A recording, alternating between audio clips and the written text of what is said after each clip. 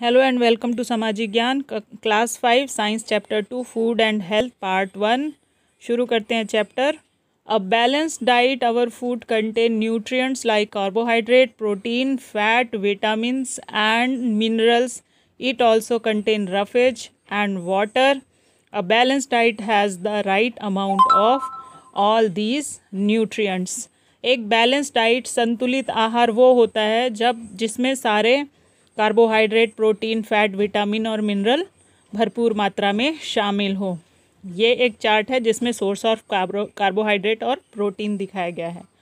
Carbohydrate give us energy to work, to play. Some source of carbohydrate are cereal, pulses, sweet potato and sugar.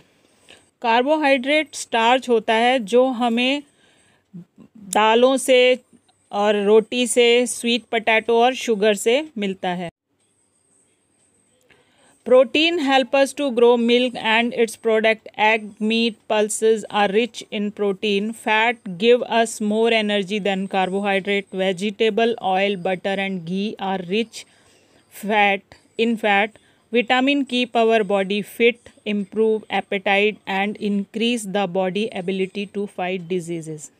Protein शरीर को बनने और बढ़ने में मदद करता है। जो भी टूट फूट होती है, वो प्रोटीन ही उसको कंप्लीट करता है।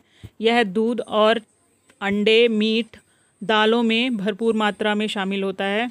फैट हमें वसा जो है, वो बहुत एनर्जी देता है। कार्बोहाइड्रेट से भी ज़्यादा हमको एनर्जी देता है। वेजिटेबल ऑयल, बटर, घी, इन सब में बहुत अच्छा फैट रहता है। विटामिन हमारी बॉडी को फिट और भूख बढ़ाने में मदद करते हैं। हमारी बॉडी की लड़ने वाली क्षमता जो डिज़ीज़ से लड़ती है, उसमें बढ़ोतरी करता है, ताकि हम रोगों से लड़ सकें। ये सारी क्षमता हमें विटामिन्स भरपूर मात्रा में खाने से मिलती है। घी और दूध, काजू, मक्खन, आइसक्रीम, ऐसी चीज़ों में भरपूर मात्रा में चिकनाई या वसा रहता है। फल, फ्रूट में विटामिन्स भरपूर मात्रा में रहते हैं, जो हमें हेल्प करते हैं ग्रो करने में और डिज़ीज़ से फाइट करने में। Mineral help the growth and development of the body fresh fruit and vegetable are good source of vitamin and mineral roughages contain vegetable and fruit help the body to get rid of undigested food mineral help करते हैं शरीर को grow करने में, बढ़ने में और उनकी टूट फूट जो होती है उसको रिपेयर करने में फ्रेश फ्रूट और सब्ज़ियाँ अच्छा सोर्स होते हैं विटामिन और मिनरल्स का रफेज जो हम सैलड के रूप में खाते हैं, वो हमारे बॉडी को क्लीन करने में हेल्प करते हैं। Food must be cooked with care so that its nutrition value is not lost cereal pulses and vegetable should be cooked in water in which they have been soaked this water in which they have been soaked. This water contain dissolved vitamins. जितने भी foods हम खाते हैं, उनको अच्छे से पकाकर खाना चाहिए, लेकिन इतना भी ओवर कुक नहीं करना चाहिए कि उनकी सारी न्यूट्रिशन वैल्यू खो जाए। सिरल दालें और जितनी भी वेजिटेबल हम हार्ड वेजिटेबल वो करते हैं, उनको हम पानी में पकाते हैं तो पानी में उनके विटामिन जो होते हैं, वो डिज़ोल्व हो जाते हैं। तो हमें वो पानी फेंकना नहीं चाहिए। उनको भी साथ में यूज़ करना चाहिए. Keep fit posture is the position in which we hold our body when we sit stand or move we must sit and stand straight we must walk upright correct posture give us gives a graceful हमें अपने body को posture होता है हमारे बैठने का तरीका, खड़े होने का, चलने का और हमें हमेशा स्ट्रेट रहना चाहिए.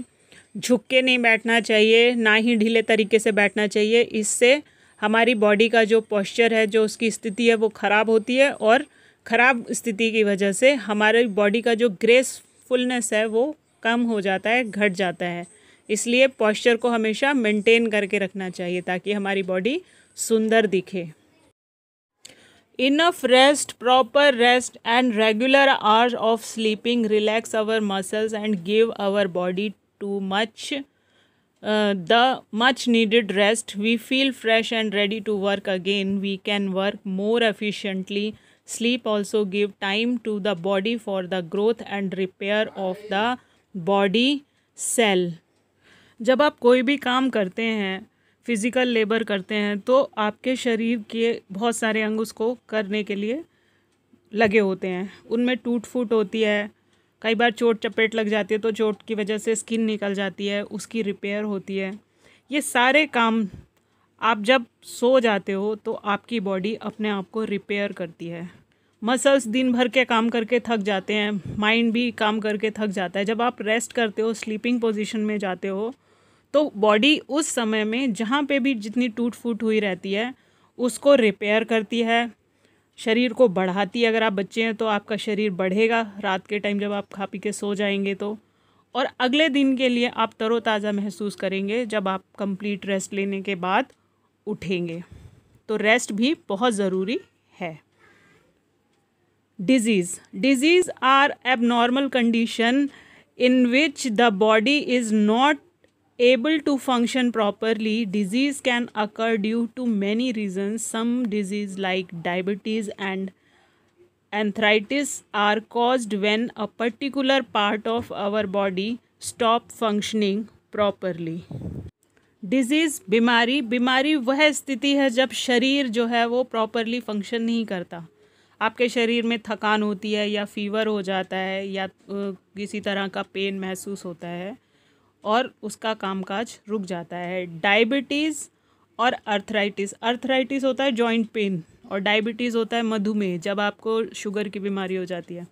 तो ये दोनों की दोनों कंडीशन तब आती हैं जब आपके शरीर में किसी खास चीज़ का फ़ंक्शन बंद हो जाता है। इंसुलिन बनना बंद हो जाता है तो डायबिटीज़ होती है और अगर आपके जो मसल्स हैं, जो हड्डियों के जॉइंट्स हैं, वहाँ पे वहाँ का जो एक तत्व होता है, जो उनको चिकना रखता है, जब वो चीज़ कम हो जाता है तो इनमें पेन आनी शुरू हो जाती है। Deficiency or the lack of particular mineral or vitamins in the body also causes disease they are called deficiency disease शरीर में किसी चीज़ की कमी खास तौर पर मिनरल और विटामिन्स की कमी की वजह से भी डिज़ीज़ बीमारियाँ होती हैं। जिन्हें डेफिशिएंसी डिज़ीज़ कहा जाता है। Cause of disease can broadly be classified into two types non communicable and communicable communicable का मतलब होता है जैसे कम्युनिकेशन शब्द से बना है। कम्युनिकेशन का मतलब एक से दूसरे में जाने वाली चीज़। जैसे बात करते हैं तो एक से बात करते हैं, दूसरे के पास चला जाता है। नॉन कम्युनिकेबल जो एक से दूसरे में ट्रांसमिट नहीं होती। Disease that are not pass on from one person to another some non communicable diseases are night blindness beriberi scurvy rickets and anaemia night blindness is caused by the deficiency of vitamin A green leaf vegetable mango papaya tomato butter milk fish and egg yolk are rich source of vitamin A in night blindness the patient can not see in dim light. कई दो हिस्सों में हम disease को बांटते हैं, बीमारियों को बांटते हैं। एक वे जो दूसरों में चली जाती हैं, अगर किसी संक्रमित व्यक्ति के सामने कोई आता है और दूसरी होती जो कम्युनिकेट नहीं करती हैं। कम्युनिकेट नहीं करने वाली बेसिकली विटामिन की कमी से होने वाली बीमारियाँ, जैसे विटामिन ए की कमी से नाइट ब्लाइंडनेस हो गई विटामिन बी वन की कमी से बेरी बेरी सी की कमी से स्कर्बी विटामिन डी की कमी से रिकेट्स और जब खून में हीमोग्लोबिन यानी लाल रक्त कण कम बनते हैं तो अनीमिया होती है। Night blindness is cause by the deficiency of vitamin A अगर विटामिन ए की कमी से नाइट ब्लाइंडनेस की प्रॉब्लम आ रही है तो हरी पत्तेदार सब्ज़ियाँ खानी चाहिए, पपीता, टमाटर फ़िश एग योक ये सारा खाना चाहिए, क्योंकि ये विटामिन ए के अच्छे सोर्स हैं। Beriberi is a disease caused by the deficiency of vitamin B one vitamin B is present in unpolished rice milk meat pea cereal and green vegetable vitamin B की कमी से berry berry रोग होता है, जिसके अंदर व्यक्ति की शरीर जो है वो स्वेलिंग हो जाती है, फूल जाता है और उसके अंदर हड्डियों में बॉडी में पेन रहता है। इतना पेन रहता है कि वो सुस्त महसूस करता है, किसी काम में उसका मन नहीं लगता और दिमाग भी ढंग से एबसेंट माइंडनेस बढ़ जाती है। अगर किसी व्यक्ति को बेरी बेरी की बीमारी है तो। उसे राइस अनपॉलिश्ड राइस बिना पॉलिश किया हुआ चावल, दूध मीट मटर, दालें और हरी सब्ज़ियाँ अपने खाने में शामिल करनी चाहिए इस रोग से बचने के लिए। Scurvy is caused by deficiency of vitamin C bleeding of gums and swelling of joints result from scurvy first of vitamin C is present in citric food amla tomato green leafy food vegetables potato and sprouts grain and pulses scurvy vitamin C की कमी से होने वाला रोग है। इसमें आपके होठों के कोने फट जाते हैं। गम्स से खून आने लगता है स्वेलिंग होने लगता है जॉइंट्स में पेन होने लगता है स्कर्वी से बचने के लिए विटामिन सी रिच फ़ूड खाना चाहिए, ताकि आप इस बीमारी से बच सकें। Rickets is cause by the deficiency of vitamin D in this disease the bone become soft vitamin D along with the vitamin C mineral calcium Phosphorus make our bones and teeth, hard and strong. Calcium come from milk and its product. Rickets होता है जब vitamin D की कमी होती है, इसकी वजह से बॉडी की जो हड्डियाँ होती हैं, वो सॉफ्ट हो जाती हैं। और इसीलिए जैसे आप देख रहे हैं इसमें चित्र में कि बॉडी सॉफ्ट होने की वजह से बोन्स सॉफ्ट होने की वजह से क्या हो गया? झुक गई हैं। धनुष के आकार के जैसी ये हो गई हैं। इससे बचने के लिए हमें कैल्शियम रिच फ़ूड खाना चाहिए। और जिससे हमारी हड्डियाँ अच्छी हों, दूध और दूध से बनी हुई चीज़ों में ये भरपूर मात्रा में पाया जाता है। Goitre is caused by deficiency of iodine in quarter a gland in the neck region swelling goitre can be prevented by using iodise salt sea food is also so rich in iodine goitre iodine की कमी से होने वाला रोग है। इसमें गले की एक ग्रंथि बहुत तेज, मोटी फूल जाती है, जिसे थायराइड कहते हैं। और इसकी वजह से शरीर देखने में बहुत ही ज़्यादा ख़राब लगता है। मतलब गले का हिस्सा जो है, ये काफ़ी सूज जाता है। Anaemia is cause by deficiency of iron in food in anaemia the haemoglobin in the blood become low so the oxygen carry capacity in of the blood reduce iron is present in date apple bananas spinach brinjal pulse jaggery meat and liver anaemia शरीर में red blood cell कम होने की वजह से होता है, जो iron की कमी के कारण होता है। हम आयरन रिच फ़ूड नहीं लेते तो हमें अनीमिया की शिकायत होती है। इससे बचने के लिए हमें वो सारे फ़ूड लेने चाहिए जिनमें आयरन ज़्यादा होता है। Communicable diseases. These are diseases that can be passed from one person to another. Communicable disease are spread by microbes or germs called bacteria protozoa and viruses. These germs spread through coughing spitting and sneezing. Germs enter the body of person through the nose or mouth or with food and water. They can also enter the body through cut in the skin. Communicable disease होती हैं जो एक से दूसरे में transmit हो जाती हैं। ये माइक्रोब्स होते हैं, ऐसे सूक्ष्म जीव जो आँखों से दिखाई नहीं देते, बैक्टीरिया की फॉर्म में, प्रोटोजोआ और वायरस की फॉर्म में। ये एक से दूसरे में फैलते हैं, जैसे कोई थूक रहा है, कफ आया, थूक दिया, छींक दिया, स्पिटिंग कर दिया। छींकने से भी मुँह से छींक के साथ में बहुत तेज़ी से वायरस बाहर निकलते हैं।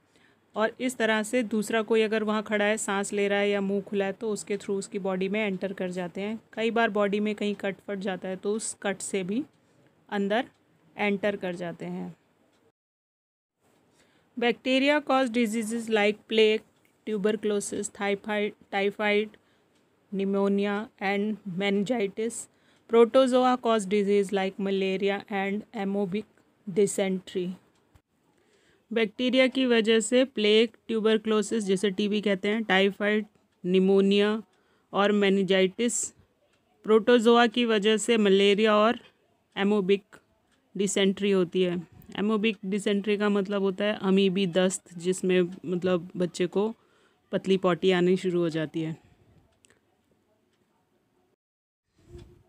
Viruses cause disease like the common cold polio chicken pox and measle some of the way in which this disease spread all discussed below virus की वजह से common cold polio chicken pox chicken pox छोटी माता और measles बड़ी माता, इस तरह की बीमारियाँ होती हैं some of the which we discuss अब नीचे यहाँ पे डिस्कस करें through direct contact many diseases like common cold chicken pox measles ringworm whooping cough and scarlet fever spread through direct contact either through clothing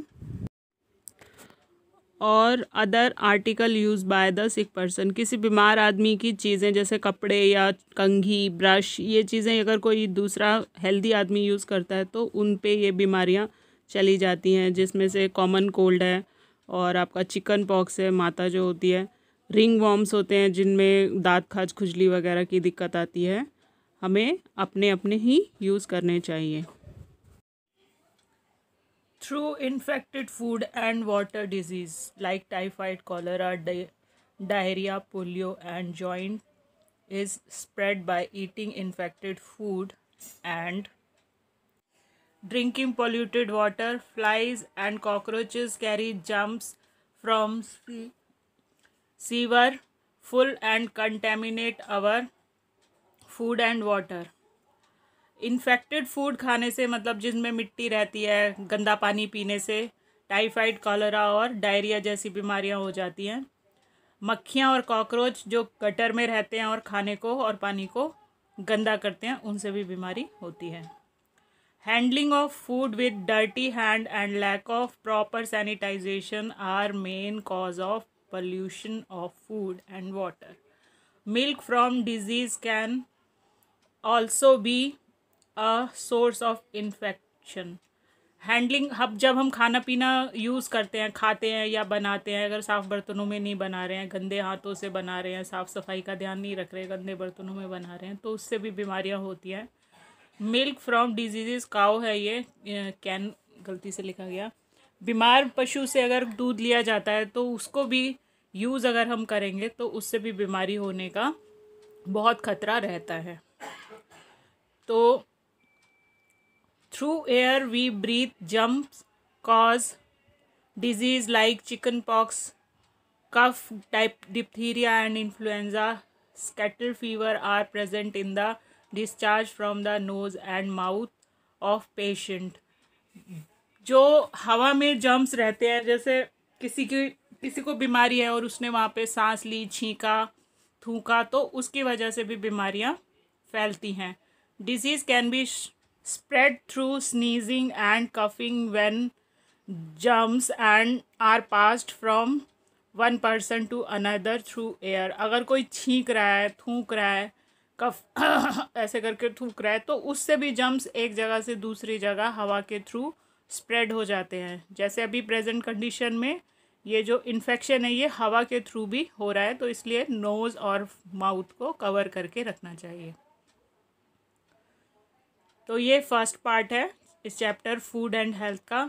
हम दूसरा part बहुत जल्दी लेकर आएँगे, क्योंकि ये वीडियो बहुत लंबा हो रहा था। आई होप कि आपको पसंद आया होगा। इसको लाइक कीजिए। और चैनल सब्सक्राइब कर लीजिए अगर अभी तक नहीं किया। Thank you thank for the watching